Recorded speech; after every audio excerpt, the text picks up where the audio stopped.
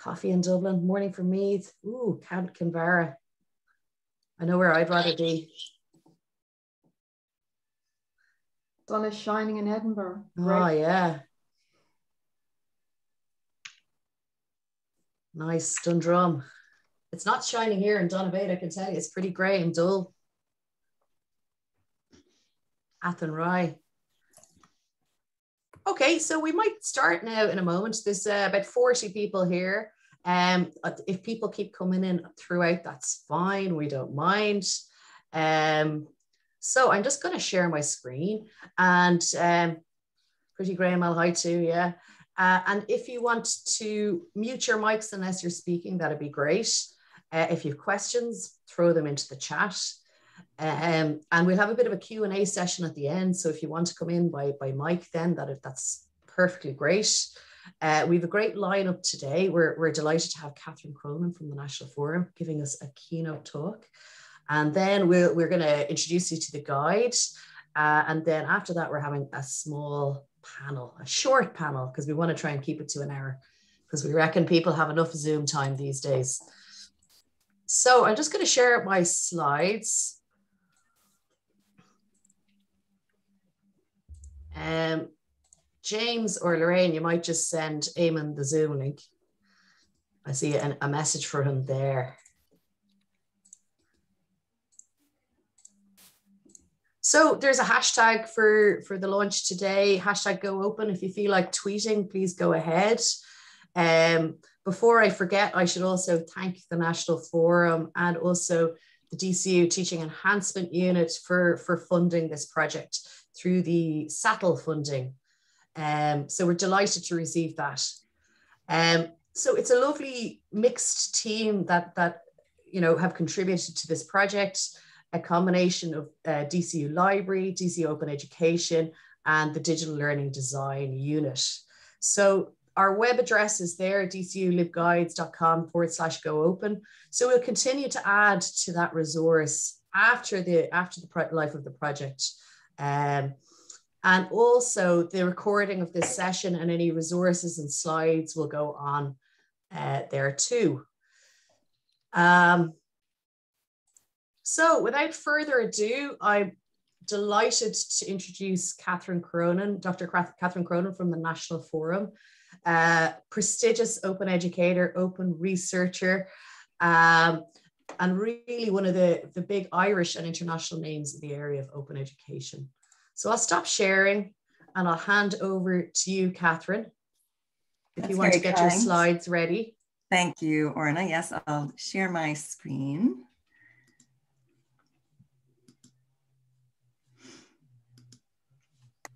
Okay, make that full screen. Uh, is that visible okay? Okay, that's great. Um, thank you so much. And before I start, I'll just say apologies. I have a little bit of um, hay fever this morning, so, um, but I'll do my best to talk through that. Um, I'm really grateful for the invitation to come this morning. I, um, I've, I've seen the Go Open Guide, really impressed with what you've done, and particularly that it's a collaboration across so many different uh, functions um, at the university, uh, which really bodes well for, you know, for being effective you know, across the board, mm-hmm. students and staff, and not just at DCU, but probably beyond as well. Um, so often when we talk about open education, we talk about um, the nuts and bolts of it, like the licenses and OER and how we share and so on. But I just thought I'd start today just with kind of the big picture um, and this is a, a, quote from Brigitte Vezina and Cable Green from Creative Commons uh, from, from an article called Education in Times of Crisis and Beyond. And really uh, pointing out that all of our efforts, our collective efforts um, in open education, you know, are not a short-term fix, um, but really a long-term solution to ensuring equitable and inclusive access to education for as many people as possible.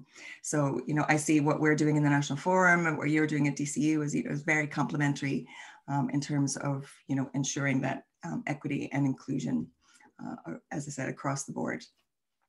So UNESCO is one of the leaders, has been one of the leaders in open education for quite some time. And just almost exactly a year ago, they published this call for joint action. So it was the early days of the COVID crisis. Um, and they pointed out that we're at a pivotal moment in history. You know, and I often find myself saying, you know, both personally, and I think probably true for many of us, that whatever we may have known or understood about inequality before March of 2020, we certainly know a lot more now, um, both in terms of education and in broader society. So UNESCO really addressed that and linked it to um, the potential of open education. Um, and they called on educators. So it was very much a call to us um, as, as educators to support the use of open educational resources for sharing learning and knowledge openly worldwide with a view to building, again, more inclusive, sustainable, and resilient knowledge societies. So all of these efforts of, of ours are, you know, are contributing to a greater whole. And I know that um, a lot of people here will, will know, you know, what we are um, is already, um, but I, I, know this is an introductory session, so I'm just including some basic definitions um, before we start. Um, so open educational resources, again defined by UNESCO, are teaching, learning, and research materials in any medium. They don't have to be digital, although they, quite often they, they are, um, that reside in the public domain or have been released under an open license. I bolded the keywords here. Um, and that open license permits no cost access, use, um, adaptation, and redistribution by others um, with limited or no restrictions. So um, OER are essentially about improving teaching and learning. Uh, and they're not just, the important point here, I suppose, is that they're not just free resources, but they're generally um, considered, you know, free resources with permissions. Um, and these are the permissions David Wiley describes them as these five R's, uh, the permissions of, of, OER. So this presentation, for example, is an OER. I sent or, Orna the link. I don't know if you put it in the chat, or Orna, but you, you might do that if you don't mind. I meant to do it at the start. So my presentation is openly licensed. So that's just an example um, of an OER. So this presentation or anything that you encounter um, that has uh, an OER license, you can generally retain it for yourself, reuse it in your own context, adapt, modify, and improve it for your own context, remix it uh, with other materials. So um, remixing it to, to suit your students, you know, your community, your needs, um, and redistribute it with others. So even this slide is an example of how I've done that. So I included that image of, um, of the OER, lovely OER image from Wikimedia Deutschland. Um, and then that's David Wiley's work, the, the five R's. So this is an example of just how you can reuse and remix open educational resources, you know, for your own, uh, for your own teaching and communication. So the open licenses, uh, these uh, typically Creative Commons licenses are widely used in education, eh, which is uh, of course about sharing, but they're also used increasingly in other organizations. So the National Forum openly licenses everything that we publish as does the European Commission, the Wellcome Trust, many research funding bodies, as you probably know. Um, and there's an incre increasing examples of open licensing in cultural heritage collections. These are two examples, uh, the Smithsonian Institute and the Rijksmuseum, which was one of the leaders in this, who have openly licensed um, their collections. Um, so these are amazing resources that are available for us and our students to use, to engage with, again, to remix, you know, to use in learning, teaching, and assessment. But just like, um, as you say, open education itself is not just about the content. Um, so open education is not just about open education resources.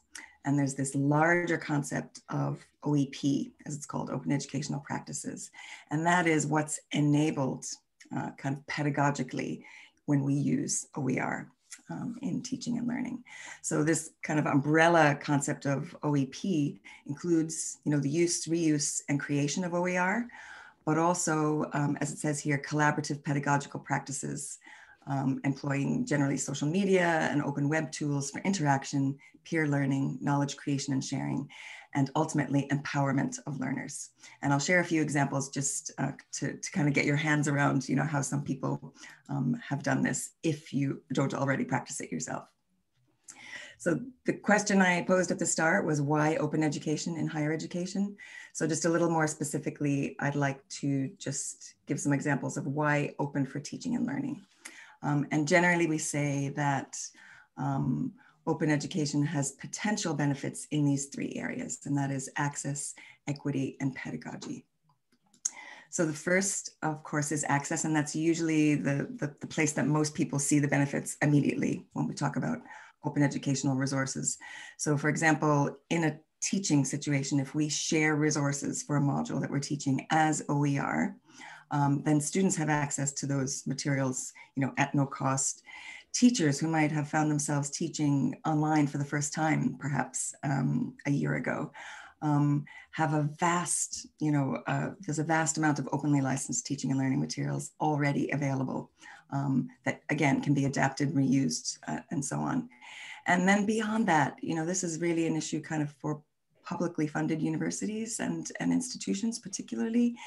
Um, we, by sharing our um, educational content openly, you know, using open license, anyone um, with an internet access and the knowledge and skills required can access that content.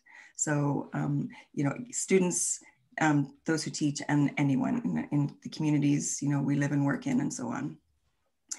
The second aspect where there's potential value is the, is the area of equity. So obviously reducing costs for students um, is, is an equity issue. You know, we know, for example, during the COVID crisis, you know, that many students um, had already been experiencing financial hardship and the COVID crisis exacerbated that. So reducing costs for students is obviously, you know, incredibly important.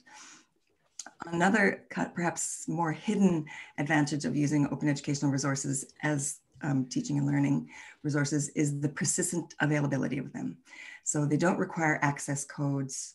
Um, they're not only available when you have a university email. So again, students have access to OER before they're students, during the time that they're students, and beyond that. So if they take any breaks in study or so on, they have access to those materials. Um, the third bullet there is just is an enormous one. There's, a, there's an awful lot of work going on here at the moment around di addressing diversity, equity, and inclusion in the materials. So you know we've all used um, textbooks or other materials where that weren't quite on the mark in terms of being inclusive, say, of Irish um, examples or examples that represent our students and particularly marginalized um, identities. You know, women aren't often included. Sometimes the language is all masculine pronouns. Um, LGBTQ identities, race, being racially inclusive, you know, all these different ways that sometimes existing educational materials are not inclusive. When the materials are open, we can change that. We can include perspectives that might be missing uh, to make them more inclusive. And overall, again, supporting sustainable development goal number four, which is part of what we're, we're all about in terms of um, lifelong learning for all. And finally, and you know, we could spend the whole hour talking about um, how how open enables open pedagogy and you know open educational practices. These are just some of the ways. So again, we can adapt and use OER in context for our students, you know, for our modules, for our disciplines, for our communities. Students can co-create OER, so co-creating open textbooks, for example um, a whole array of ways of authentic assessment. A lot of people are talking about authentic assessment these days.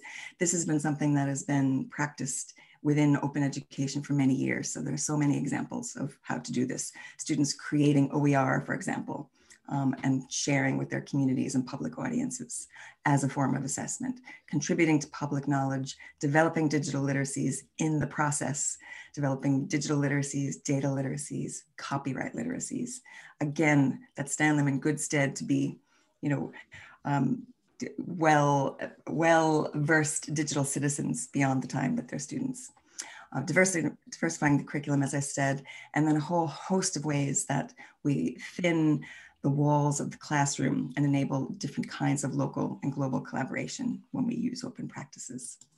So um, how is my time, Orna? Because I can go quickly through these examples here. Doing grand, Catherine. Okay. You're setting the scene very nicely. Okay, great. Um, I just have uh, three, four uh, examples of um, how educators have used OER and OEP, just to kind of, again, set the scene for, for, for the work that you are introducing today. The first is co-creating open textbooks. So this is engaging students, not just us as educators sourcing open textbooks, engaging students perhaps in creating those textbooks.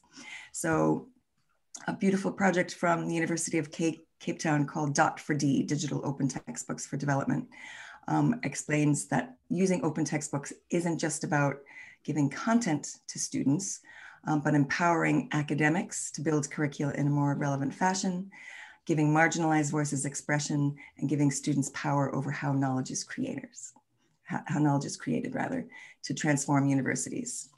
Um, the, uh, a lovely example, the first one there is cost is usually the main focus when we're thinking about open textbooks.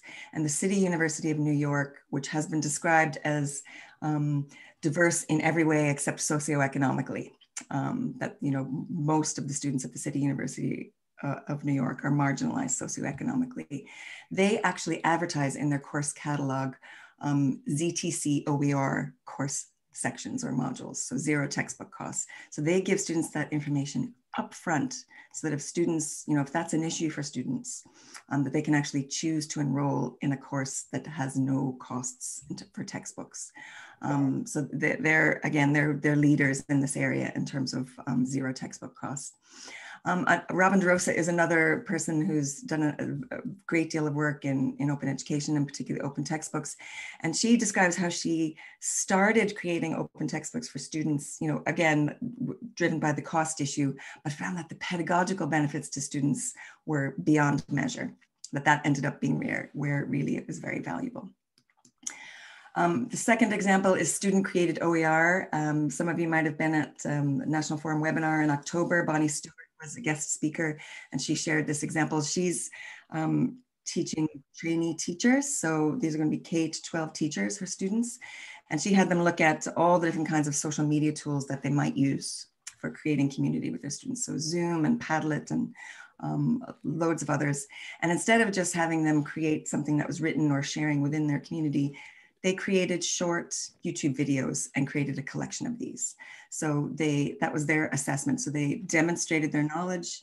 They shared the resource not just with their community, but with any anyone, any educator or teacher anywhere, because um, these are open educational resources. Lovely example. Um, uh, and Still We Rise, uh, another wonderful example, students co collaboratively co-creating OER.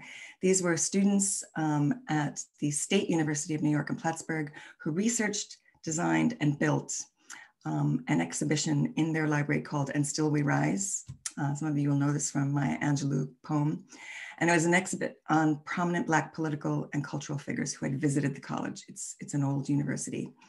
Um, and they students worked with their teachers and with librarians to look at the college's archives and secondary sources, and they created an openly licensed digital and physical exhibit. So again, this was an OER assignment, but they created something that's long lasting um, and contributed to the community, not just the college community, but the wider community. Um, and finally, um, creating and editing Wikipedia articles. Ewan McAndrew is probably the person I quote most in, in talking about uh, editing Wikipedia. He's the Wikimedian in residence at the University of Edinburgh. And he says, don't cite Wikipedia, write Wikipedia. So really let's, let's engage in teaching our students about how Wikipedia is authored and have them apply their scholarly knowledge to a public resource that's used by millions of people. So again, all of these things are linked in the presentation if you want to follow up on them. I don't think I need to say more there, but uh, I know you have some people at DCU who, who are doing this work as well. Um, finally, to wrap up, just a few resources that I just want to leave you with. I won't um, talk about them um, in any detail. Some of the examples that I just shared are in these collections. So Open at the Margins um, is a collection of you know, gray literature, if you like. Um, it's blog posts and conference presentations by people who, uh, who um, have really been digging into these critical perspectives and how open education can be used for equity and social justice. Um, the open pedagogy approaches was co-authored by students, teachers, and librarians uh, from New York, State University of New York and Still We Rise example came from this collection. Um, and finally, a special issue of JIME, which came out last year about open education and social justice. All of these were published in last year, all current examples. And because they're created by open educators, feel free to contact them. They would only love you know, to, to speak with you more if you're thinking about reusing um, their work. So those are international examples. National examples, the National Forum has a couple of guides um, about OER and OEP and how to license. And the, the example on the left is just a new digital resource we published last month about understanding OER and OEP. All of them are available on this page. But these form just a strand of the support network that's required.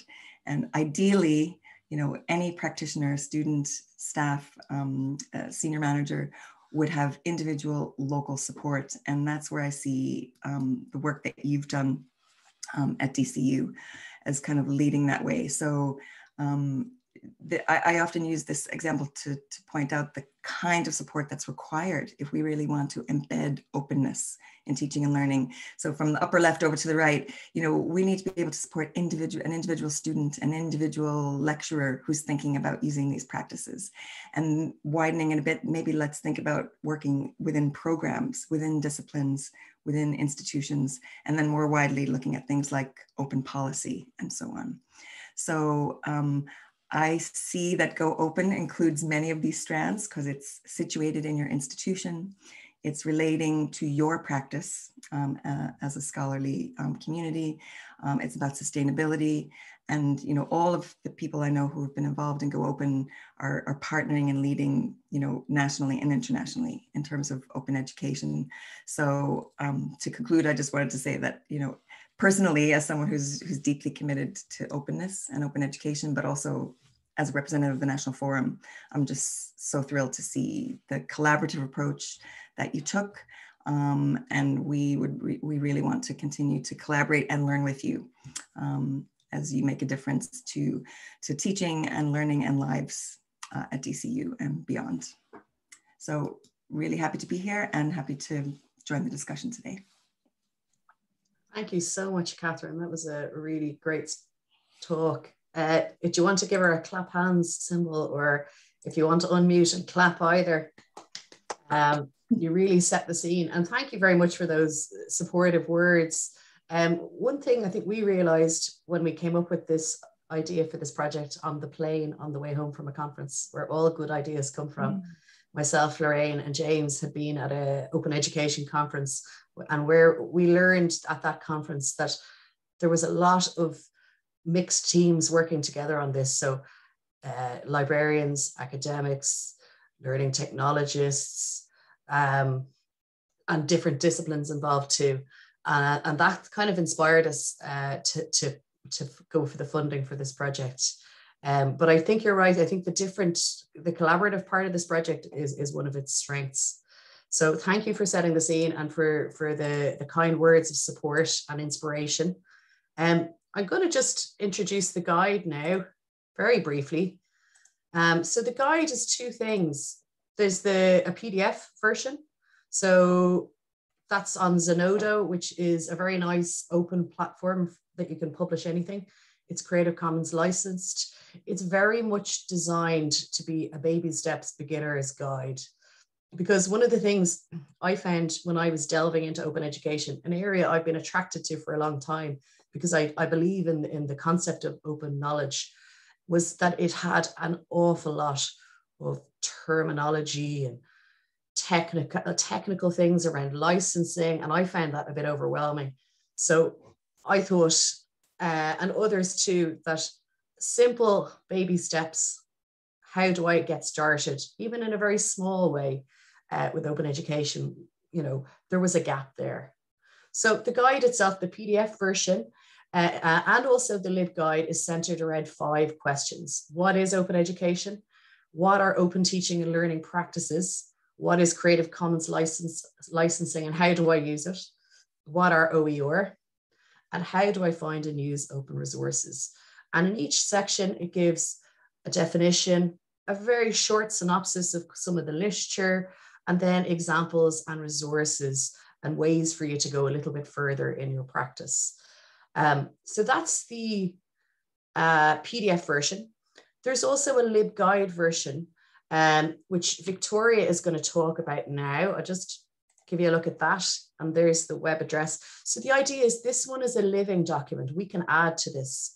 Um, and that's the way it, you know, it ensures the sustainability of the project also, you know, if, if people come to us and say, oh, I'm really interested on, in this, we can develop further resources. Also, we'll put the recording and the slides from this webinar today on here, and they will also be an open resource. Um, so that's hosted on the DCU Library website as well. So I think that that helps as well towards us keeping it going and keeping it up to date and adding to it. Um, so Victoria, do you want to give a bit more detail there? I can. I will share my screen. Hopefully, see. Now, hopefully you can see that. Yeah. Okay.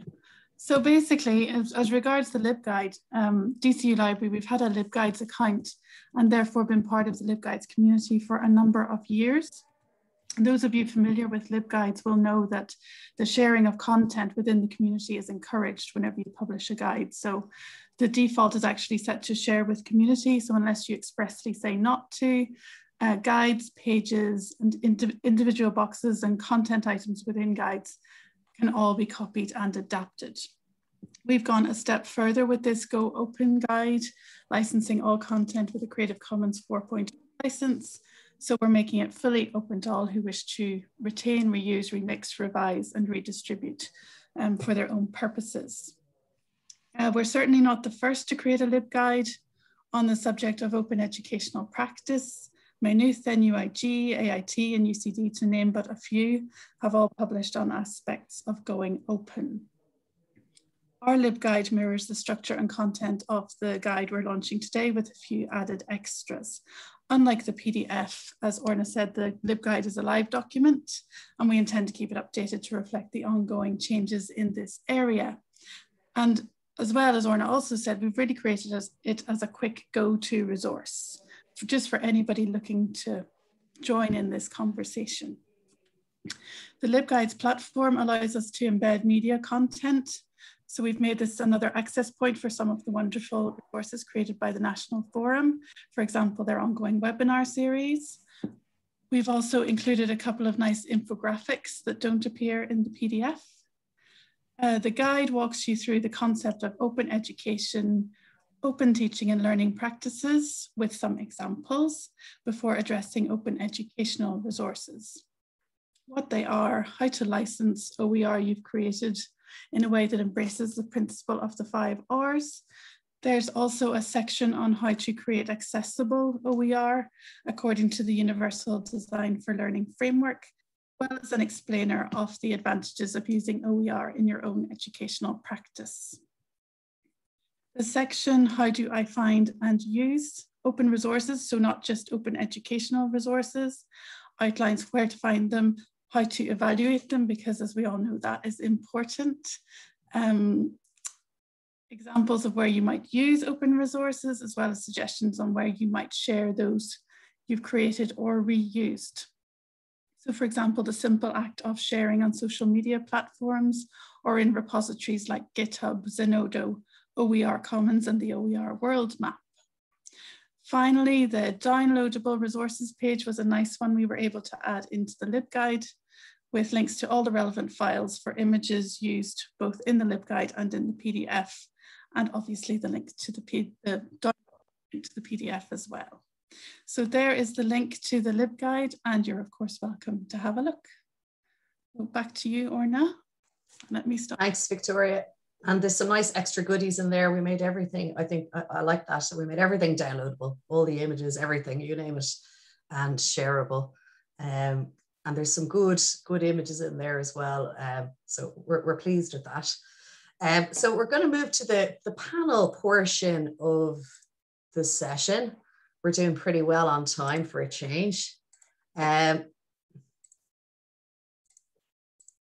um, and so just before I introduce the panel, two, two of the images from the guide there, which I think are, are, are, I think they're beautiful. Four reasons to go open and four ways to go open. So, you know, very much um, speaking to what Catherine was speaking about, about the reasons and then the ways as well. So we're going to pick those up in the panel discussion. Um, so I'll introduce the panel, Catherine Cronin, obviously, um, from the National Forum uh, Ellen Breen from DCU Library, and Eamon Costello from Open Education, and James Brunton also from Open Education, conveniently named for this, uh, this panel discussion.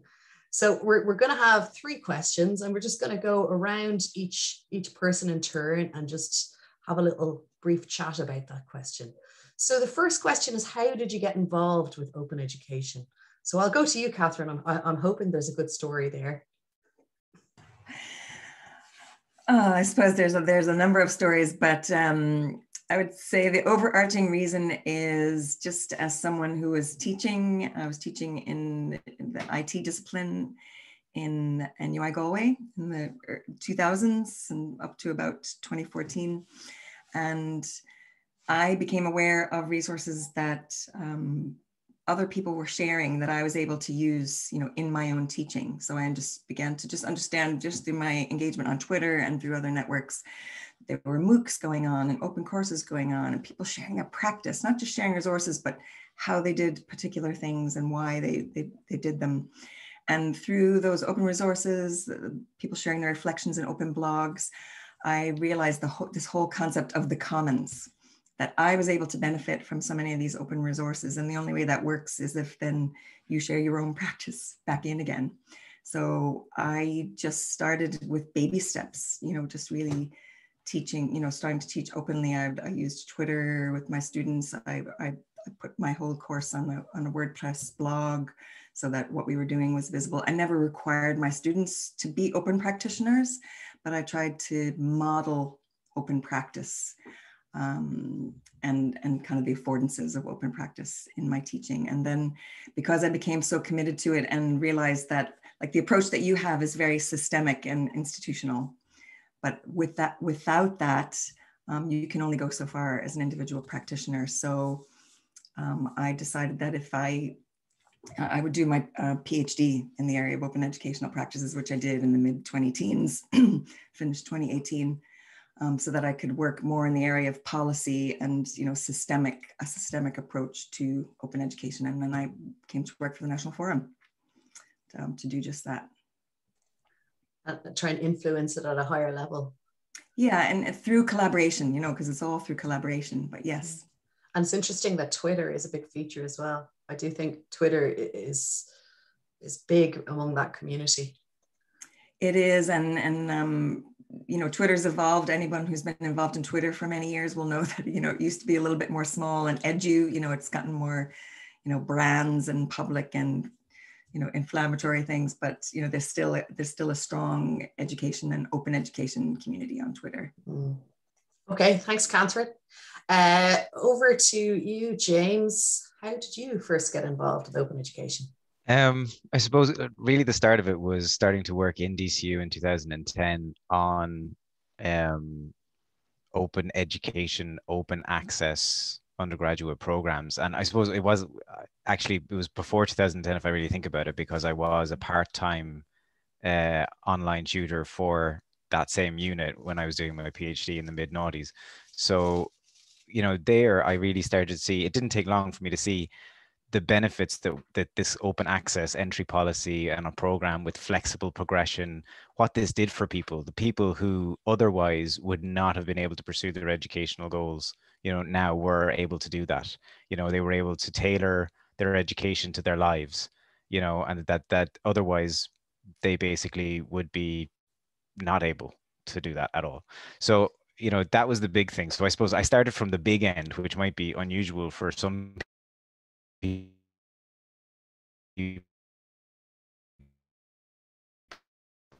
no, you've frozen a bit, James. Some some some oh. internety weird stuff going on there. See okay. other games community. I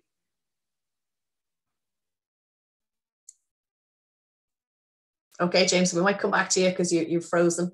Um, over to Ellen now coming from the library side of the house, how did you get into open education?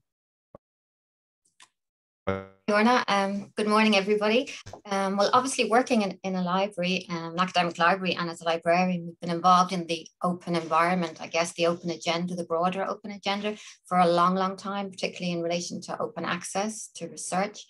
But in terms of open education, it's interesting, it's 10 years since I and colleagues in DCU Library were involved in an OER project, which was actually funded by the then National Digital Learning Resource Service. And we got 10K funding to develop um, an open access toolkit to support our blended approach to training across um, institutions to bibliometrics training for research students. Um, and just thinking back, um, we actually developed 70 OE, up, I think it was roughly up to 70 OER. The main the main OER was a digital tutorial, an online digital tutorial, but there were lots of um, worksheets, lesson plans as well um, in that toolkit. So that was the kind of our first thing. But I think, as um, Catherine said earlier, the big takeaway from that initiative was the cross institutional sharing of our expertise um, and working with colleagues across um, other libraries. And they were UCD, um, Maynooth University, TU Dublin, and ourselves. So that was 10 years ago. Yeah. Wow, that's a long time in, in, in education terms. And of course, we, we used re reusable learning objects, but then that was the term we used. Um, however, when, when you think about the five um, retain, remix, reuse all our resources where, you know, where, where they are now, they, they were, that you can define them as OER in that context, the five ORs. You were bleeding edge, and and yeah, no no one really talks about ORLOs anymore, do they? Or reusable learning objects, but but it, you're, you're yeah. right. It's it's kind of this. Was that the NDLR, Ellen? Yeah, that was. The, oh. Yeah, and yeah. Uh, that, that had its own repository, but there were issues with that, and and um, I know it was quite complex using that repository. Um, the actual MyORI has uh, resources still going, and it was it's been maintained and it is available on the CONUL website, the Consortium of National and University Libraries. So having those resources on websites, on those repositories that were mentioned earlier, um, work. Yeah. Great. And that sustainability question is still still a challenge. It, exactly, and it was then. And um, yeah, certainly, it's a it's a good question actually. Thanks, Ellen. And over to Eamon. I think he can relate to your NDLR st story if I'm remembering his background right. So how did you get started, Eamon? Well, I yeah, I at the NDLR, I was in the NDLR. Um, but I I took a course with something called Oscail back in the 90s, in the late 90s. And um, we have some graduates actually of the Open Education Unit or Oscail, I think, on the in the chat. They might the participants might some alumni, Augusta alumni might like to comment because like that's a an important part. And then I, I started working here in DCU in Oscail and, and the Open Education Unit subsequently. And um, I went to a conference in the UK and I realized, oh my God, there's this whole tradition of open universities out there and they're doing this amazing stuff and I'm a part of that. This is this is wow. And that's a kind of other open we didn't maybe get into. And it but that James alluded to. Um, and it goes back to the uh, 18th century.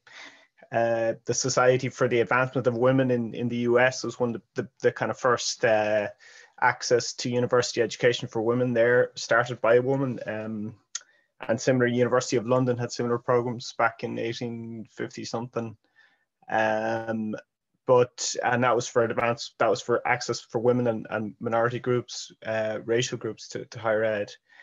I was involved in the NDLR, and I would dispute your contention about, or I think this we could reframe the NDLR as some kind of fail thing that didn't. I think it was transformative. It was a huge success story, and the success is seen in things like the forum, in terms of this launch, in terms of the literacy in the sector around Creative Commons and licensing. That simple fact, people know what licensing is now and the NDLR, like the resources are gone, but the knowledge is is still there in, in people. So, and I guess around maybe one third um, type of open, uh, I was involved in around 2005 or so, and around 2005 six, I'd say, just around the time when maybe and Catherine is a very good scholar of this. She's written great great um, pieces about it, the, the history of open educational practice and it wasn't maybe even called that back then or it was on the cusp of it and i was editing wikipedia with students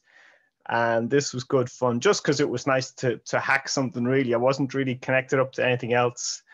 And we were doing this one porter's five forces ronan will know this as a good uh, business uh, business uh, uh person. But we were doing this porter's five forces model. So I said, how would Wikipedia use Porter's five forces to see how Wiki, how the encyclopedia market could be disrupted by Wikipedia?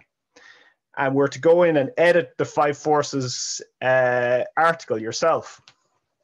And then the Irish government, in its wisdom, decided to go out and purchase a bunch of DVDs of Encyclopedia Britannica for schools, even though there was this great thing called Wikipedia that we were literally editing. And I think the lesson for me was that it's kind of weird.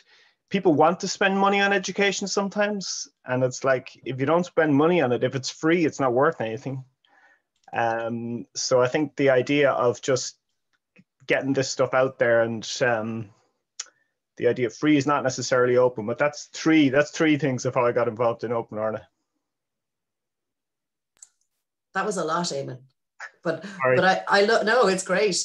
But I I the open the university the open university uh, history there is really interesting the distance one as well like the open university uk is a great example of that too um okay so on to the next question it's again a bit of a big one uh, so why do you think open education is important? So go back to Catherine.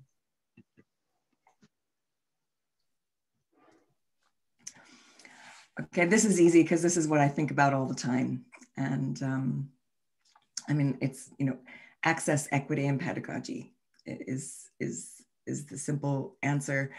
Um, what that means uh, for individuals, for institutions, you know, for different countries is different.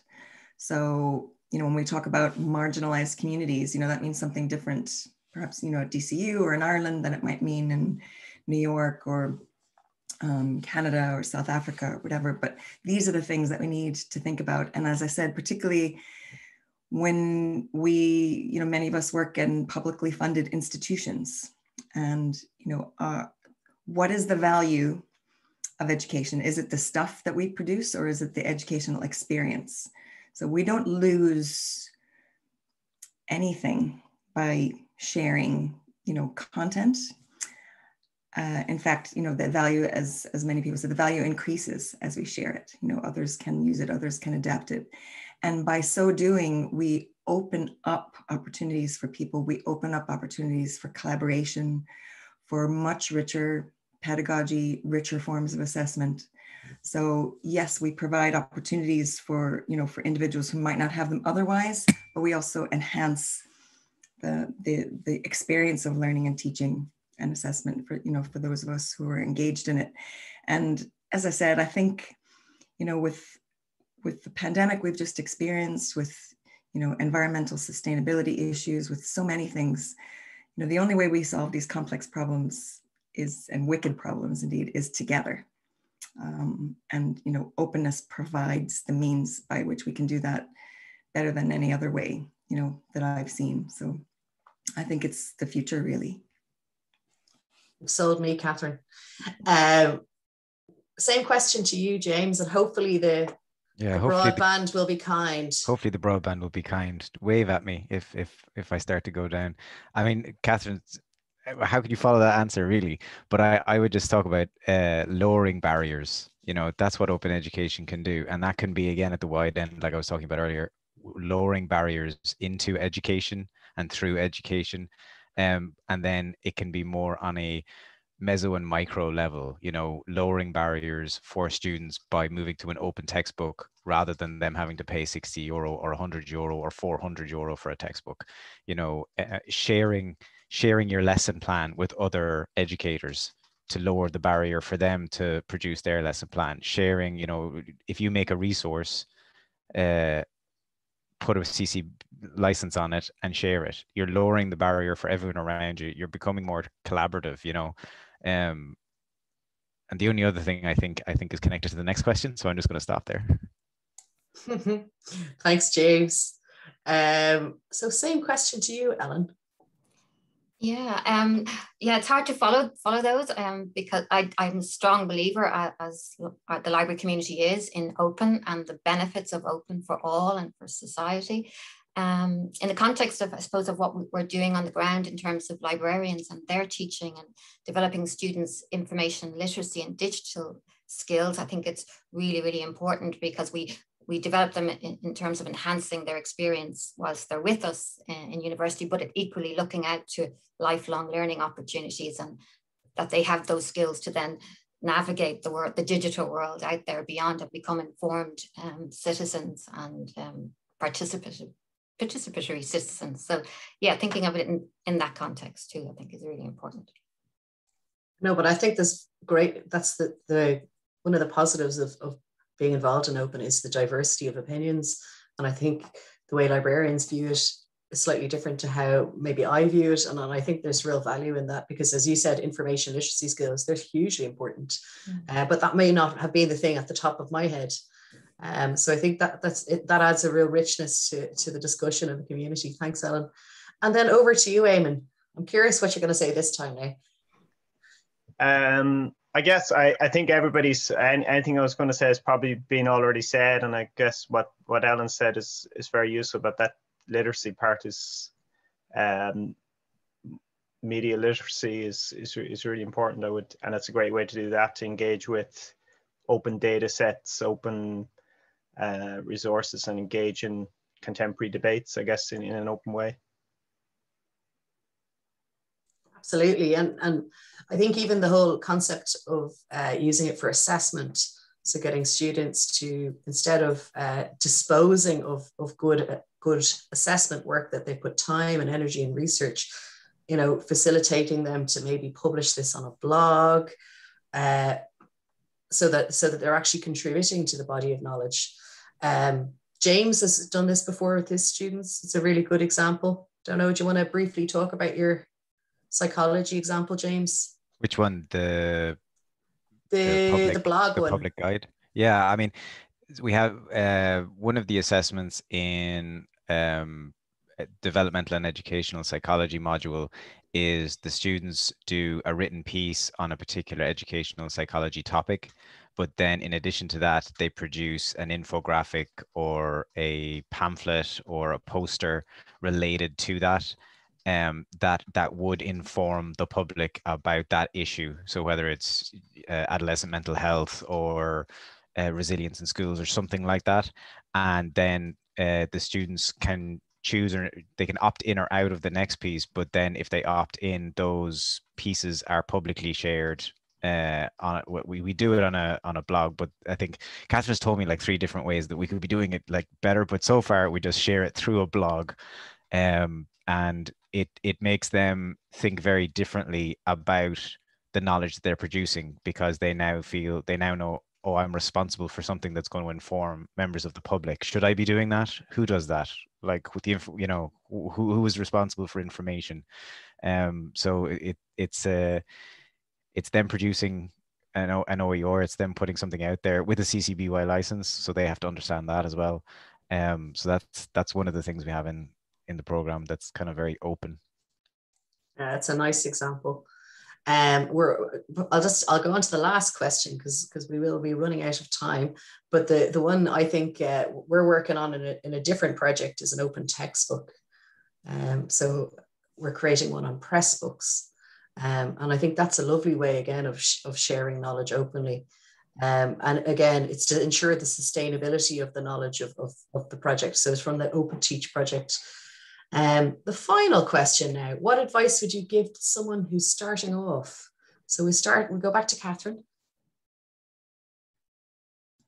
Um, Uh, well, I mean, it probably makes complete sense, but just to start small, you know, just to start by maybe changing one practice, you know, particularly if you're new to this. And the fact that you're creating this community at DCU makes that ever so much easier for people in the institution because you're kind of building this community and this ethos around open. So, you know, where that embedding in in practice isn't present, you know, at institutions, sometimes it's harder for people to find someone who can, you know, they can ask questions or so on, or, or so on. But um, start small and you know be inspired by examples that people use from other disciplines from other countries from other um, levels, undergraduate, postgraduate. I first started, you know, inviting my students to edit Wikipedia because I saw an example from a, primary school class that was doing it in the States. And I thought, oh, I could do that with undergraduate IT students. So, and don't be afraid to make mistakes, to learn with your students, you know, just, it's, we're all learning together. There's no one way to do this. Um, I think you can see that from the diversity of examples shared here today. Um, and just you know keep connecting with people like you know connect with each other connect with me you know whoever um you know as i said we, we do this in community so and it's a lovely community. Thanks catherine. I, I still want to do the wikipedia one. Um, i really i'm really attracted to that women in red project. I, I think I started one entry of a of a woman who, woman who, uh, an Irish woman historian, as a, uh, but but somebody else finished it for me, but because I because I never got back to it. Um, so same question then uh, to you, James. What advice would you give?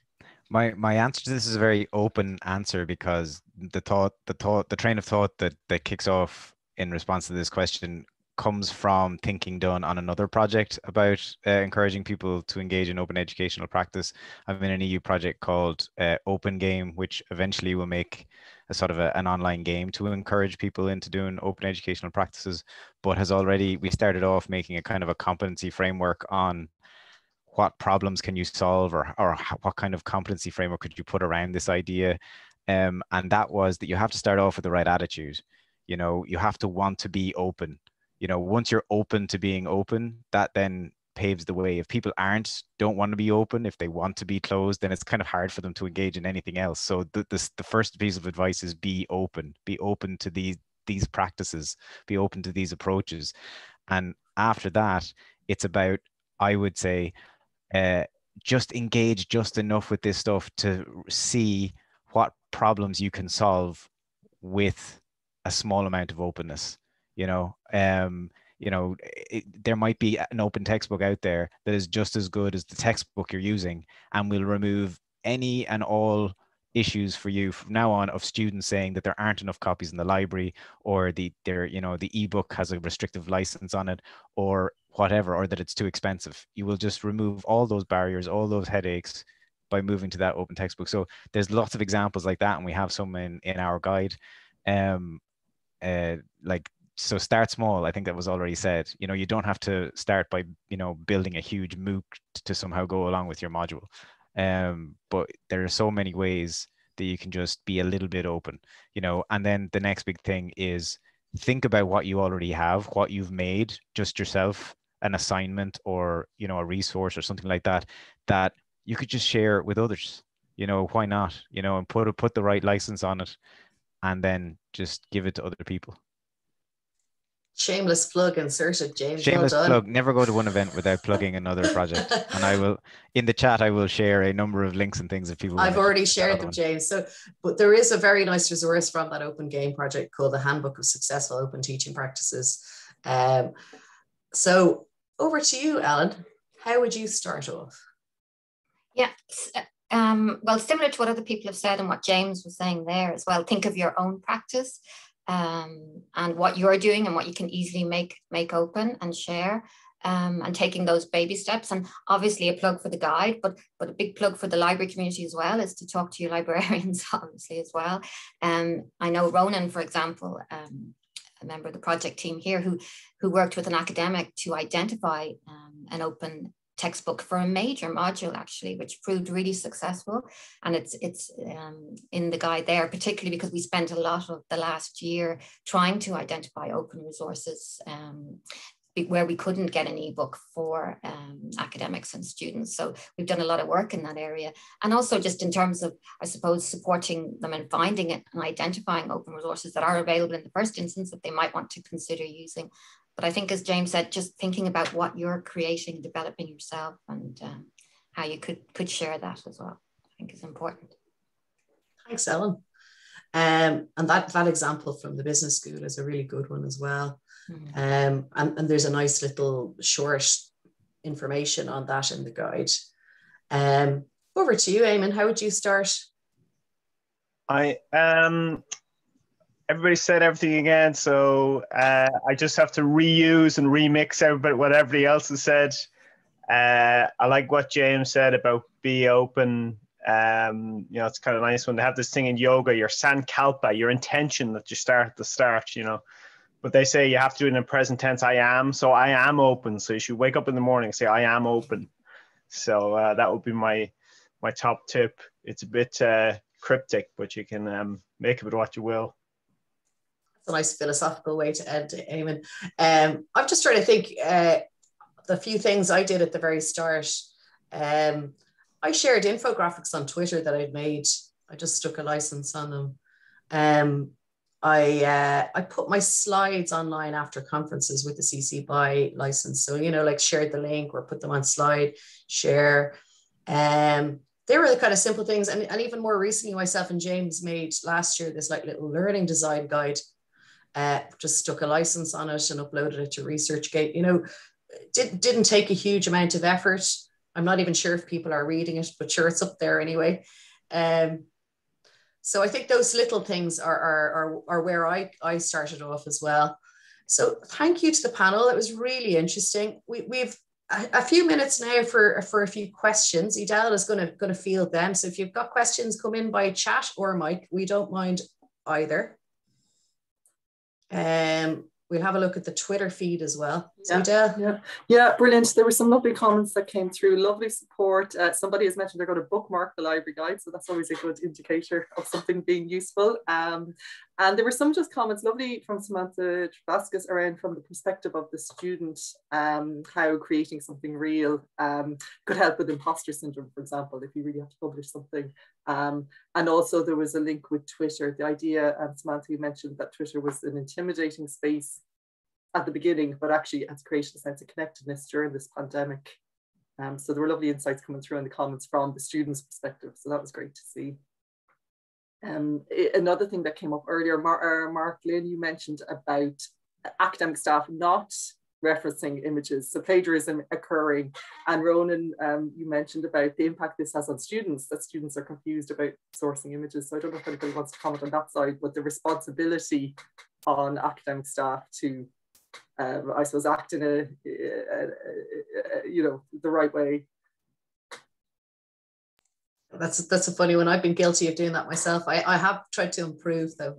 Um, I think that the last year has really showed people the difference between something that maybe is being produced for a classroom where it happens in a classroom and it doesn't go outside of the classroom versus when when things are more online or when things are both online and recorded. That that you know things like copyright law around images and things becomes more uh, pressing for people to understand.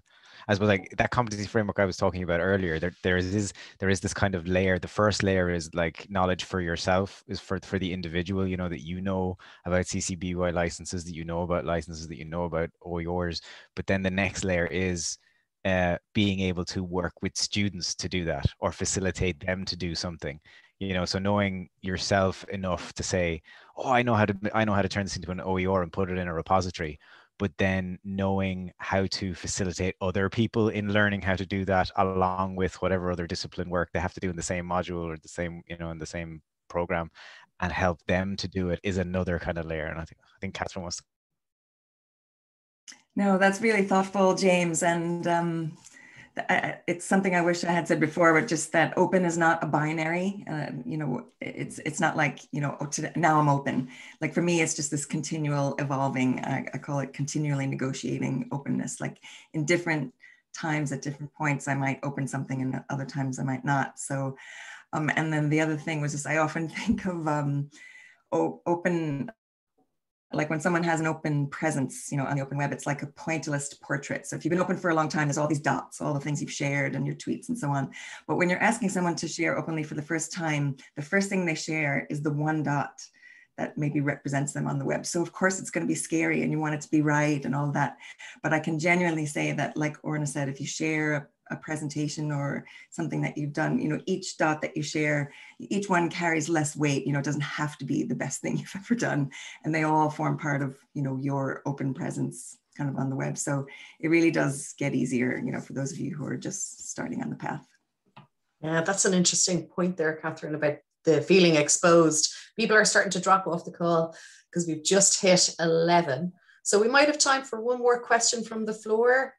If anyone wants to jump in, any, any keen questions? I'll pause for a moment to allow that to happen if not.